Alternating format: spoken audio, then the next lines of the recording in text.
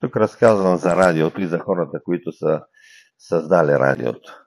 Радиото на практика има 8 бащи.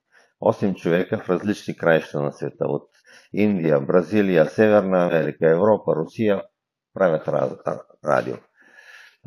и накрая Маркони патентова неговото и взема Нобеловата награда.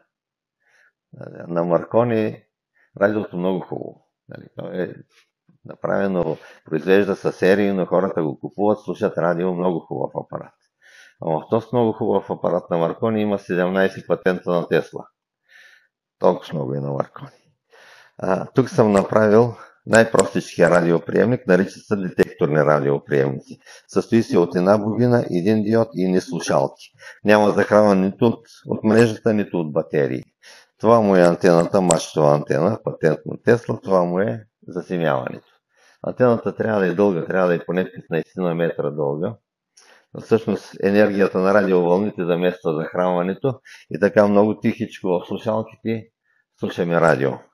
Да, според диаметъра на бобината е обхвата. Тази е за средни вълни. Ето тук някъде фащаме на румънска радиостанция. Много с малко са радиостанциите на средни вълни.